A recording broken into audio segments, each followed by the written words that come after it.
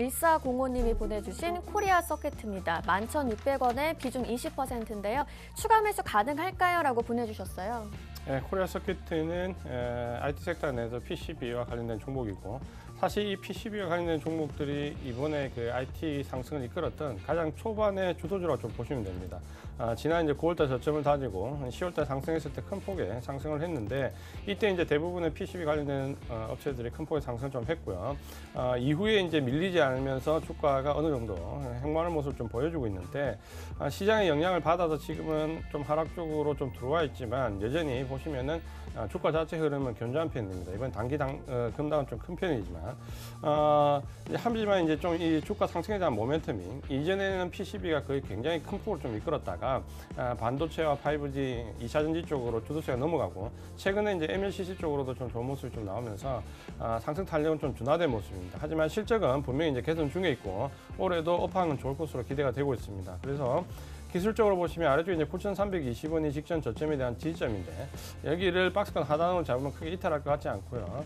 그래서 9,320원 지지선이고 추가 매수를 물어보셨는데 지금 이제 비중이 20%이기 때문에 이제 추가 매수를 하시게 되면 이제 한 30% 비중이 한 종목의 전체 계좌 3분의 1 이상이 넘어가기 때문에 가급적이면 추가 매수를 안 하고 보시는 게 좀 좋을 것 같은데 만약에 꼭 하시겠다면 아, 지지선 9,320원이니까 그 위에서 한 9,700원, 만 원 정도 요 근처에서 아, 추가 매수 관점을 좀 보시면서 매수 가격이 11,600원인데 일단 목표 가격은 위쪽에 13,000원 제시를 해드리겠습니다. 네, 알겠습니다. 다음 종목은 파루입니다. 5147님이 보내주셨고요. 2,870원에 비중 20% 어떻게 하면 좋을까요? 네, 파루는 여러분들이 잘 아시는 종목입니다. 1번 신재생에너지 쪽에서 어, 태양광 그 본업을 했는데 지금 음, 시장에서 흘러가고 있는 테마나 이슈는 예, 말씀드린 예, 신종 코로나 바이러스에 관련된 종목입니다. 2017년도, 18년도는 예, 흑 적자가 났다가 올해는 2019년도죠 소폭 뭐 흑자나 아, 이렇게 재무 구조는 좋아지는 걸로 지금 나옵니다. 나오는데 에, 조금 전에 말씀드린 세 번째는 에, 신종 코로나 바이러스에 관련된 테마주인데 그 테마주 내에서 순환매가 돌아가서 돌아가고 있습니다. 제가 보기에는 에, 일단 두 번의 시세가 나왔습니다. 금년도 어, 1월 28일 또그 어, 2월 3일 날 나왔거든요. 그러니까 오늘 제가 보기에 이 종목을 2,870원에 들어가셨는데 종가가 뭐 비슷하게 형성될 것 같습니다. 지금은 지금 이 종목이 두 번 그 시세가 나왔어요. 나와 나와가지고 이제 단기 매매 형성돼 있기 때문에 저는 말씀드리는데 에, 월요일 날 뭐 예측한다는 것은 제 생각으로 말씀드리면은 에, 종가에 아니면 월요일 날 매수 가격에서 나오시라고 말씀드리겠습니다. 네, 알겠습니다. 다음 종목 바로 만나볼게요. 2627님이 보내주신 액트로 1,480원에 비중은 12%입니다. 대응 전략 부탁드립니다. 라고 보내주셨어요. 예, 아마 아, 매수 가격 좀거 아마 최고점에서 사신 것 같은데 아, 일단은 이 종목 같은 경우는 이제 카메라 아, 관련된 부품 종목이다라고 좀 보시면 되겠는데요. 에, 최근에 보시면은 카메라 관련된 종목들이 다른 IT 섹터 관련된 종목들보다는 좀 약합니다. 그러니까 작년 12월 달까지 4분기 삼성전자 IM 실적이 굉장히 큰폭 뛰면서 아, 굉장히 큰 폭의 주목을 좀 받았다가 최근에는 이제 이 부분 실적에 대한 기대치가 낮아지면서 전체적으로 좀 하향되는 모습을 보여주고 있는데 에, 등락은 일단 박스권을 좀 보셔야 될 것 같습니다. 어, 매수하신 가격이 좀 위쪽에 너무 높기 때문에 일단은 이 종목은 빠져나오시는데 좀 신경 쓰셔야 될 것 같고요. 이번에 이제 저점을 형성했던 가격이 1,600원인데 어, 실적이 뭐 나빠지거나 펀더멘털에 악화되는 종목이 아니기 때문에 뭐 특별히 여기를 어, 시장이 너무 크게 밀리지 않으면 크게 이탈할 것 같지는 않습니다. 그래서 1,600원 정도 지지선을 놓고 보시면 되는데 어, 목표 가격은 14,800원에 매수하는데 거기가 최고점이라고 좀 보시면 될 것 같고요. 어, 목표 가격은 어, 일단은 14,000원까지 좀 제시를 해드리겠습니다. 그러니까 이 종목은 만약에 IT 종목 내에서 이 코로나19와 관련된 부분이 좀 진정이 되고 어, 전체 실적이 좀 개선되는 모습을 보일 때 아마 아, 반등의 영역이 좀 들어올 것 같고요. 어, 1차적인 목표 14,000원 제시해드린 이유는 섹터 자체가 IT 내에서 그렇게 주도 섹터는 강하지 않습니다. 그렇기 때문에 조금은 어, 눈높이를 낮춰서 14,000원 정도의 청산한 전략 말씀을 드리겠습니다. 네, 알겠습니다. 다음 종목 LG 디스플레이고요. 15,200원에 비중 20% 어떻게 보실까요? 예, LG 디스플레이는 예, 첫 번째요. LG전자가 37.9%, 그다음에 국민연금이 7.15% 주식 지분을 보유하고 있습니다. LG 이 계열사죠. 어, 뭐 수년 전에는 삼성 텔레비전이냐 LG 텔레비전이냐 하면 LG 금성 텔레비전을 봤죠. 그것은 아, 예전에 에, 이 10년 전, 15년 전 얘기고요.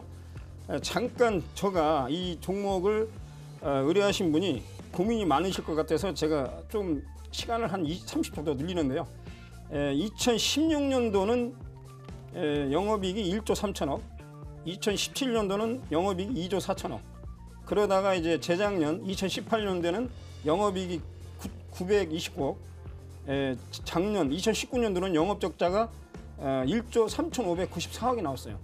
그러면 올해도 비전이 있느냐? 그러면 LG 이 파죽 공장에서 직원들을 어, 일부 퇴직을 시키고 어, 구조 조정을 하고 있다고 알고 있습니다. 아, 뭐그 사적인 내용은 제가 어, 뭐 생략을 하고요. 그래서 어, 그림으로 보자면은 지금 여기서 turn around 하기에는 시간이 많이 걸린다. 비중이 15,200원에 20%입니다. 아, 매수 가격 부근에서 어, 저 생각은 에, 20% 중에서 15% 정리하시고 5%만 가지고 보시자고요. 제가 보는 생각은 에, 디테일하게 말씀드리면은 지금 신저가인데 이거 올리려면 시간이 많이 걸립니다. 시간이 많이 걸립니다. 그래서 비중을 20% 중에서 5%만 하자. 그냥 관심 갖고 있는 종목 정도로 보시자고 말씀드립니다. 그리고 반도체는 중국하고 우리하고 경쟁 관계에서 우리가 우위에 있습니다. 아, 아, 기술 경쟁력으로 2년 내지 3년이 앞서가는데 LCD, TFT, LCD 쪽에서는 에, 중국이나 대만이 앞서가고 있다. 비슷하든지 에, 대량 생산이 가능하다. 그래서 원가 수율이나 어, 가격 경쟁력이 뒤처져 있다.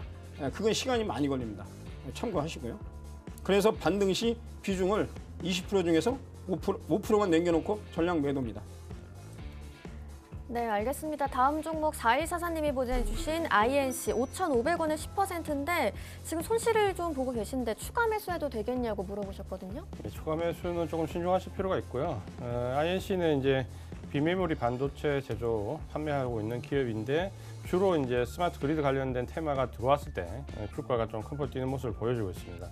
아, 실적은 펀더멘탈은 조금씩 개선되고 있는데 사실 이제 이 부분에 대한 기대치가 워낙 컸기 때문에 기대치보다는 조금 미치지 못하고 있습니다. 그러니까 펀더멘탈이 나빠지는 건 아니고요. 어, 조금씩 개선되고 있는 중인데 이번에 이제 시장이 밀리면서 큰 폭으로 좀 밀렸고 어, 지금 현재 이제 좀 보면 다른 어, 메모리 반도체보다는 상당히 큰, 어, 낙폭도 크고 실적 개선 정도도 좀 약합니다.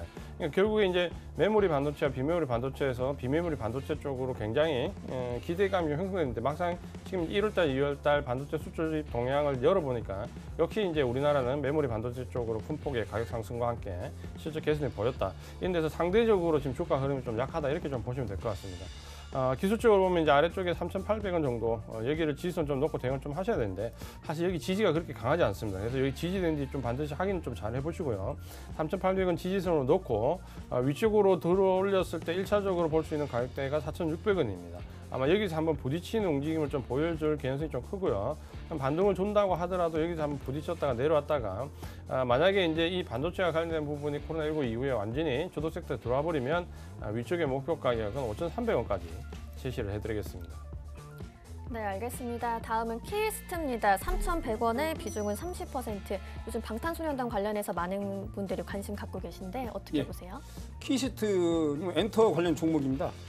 어, SM이 31% 주식을 갖고 있는 최대 주주입니다. 어, 뭐 일부 지금 이 종목은 에, 제가 보기에 최근에 기생충 테마나 이런 것 때문에 올라가고 있는 에, 그 시장의 주가를 움직이는 동인 동인이 그거거든요. 에, 그래서 제가 보기에는 오늘 그 코로나 바이러스 때문에 JYP 뭐 이런 같은 어, 어, 엔터 업종들이 다 아, 수익률이 마이너스로 나와 있습니다. 그건 참고를 하시는데 에, 오늘 하락이 약 3.7%가 나왔는데 에, 그거뿐만 아니고 전반적인 업종이 지금 위축되고 있다. 지금 안 움직이니까요. 그리고 이제 한류가 대표적인 한류가 동남아나 중국에서 어떤 그 어, 흥행이 돼야 되는데 에, 그래서 제가 보기에는 에, 다시 에, 에, 2월 17일 날 4,540원까지 시세 분출할 때 시간이 많이 걸리니까요. 예, 3,100원에 30% 비중도 많습니다. 예, 올라오면은 3,000원, 예, 3,200원에 매수 가격에서 일단 정리하시고 다른 테마를 어, 매매하시는 게 편하지 않을까 그렇게 말씀을 드리겠습니다. 결론은 반등식 매도입니다. 네, 알겠습니다. 다음 종목 삼성제약이고요. 4,000원에 비중이 30%입니다. 어떻게 하면 좋을까요? 네, 지금 현재 보시면 이제 바이오 종목들이 이번 급락 기간 동안 그래도 조금 강세를 좀 보여주고 있고 어, 임상과 관련된 부분, 특히 코로나19 관련된 뭐 치료제라든지 항생제, 뭐 항말리아, 항바이러스제 여러 가지 부분이 조금 테마가 형성되면서 아, 그나마 이제 낙폭인 시기에 낙폭이 좀 줄고 상승의 움직임 좀 보여주는 종목들이 꽤 있습니다. 이 삼성제약도 사실 최근에 시장이 좀 밀릴 때 밀려 내려왔다가 그래도 이런 부분들이 좀 이슈화 되면서 다시 박스가 복귀하는 모습을 보여줬는데 어, 아래쪽에 이제 3,615원을 제가 이제 이탈하더라도 일시적 이탈 이제 보자는데 좀 지지가 되는 모습이었고 말씀 좀 드렸던 부분이고요. 위쪽에 보면 이제 1차 목표 가격이 4,600원 제가 설정을 계속 해드렸고 만약에 이 테마가 좀 강하게 형성돼가지고 오버슈팅이 나온다 그러면 2차 목표 가격은 5,400원입니다.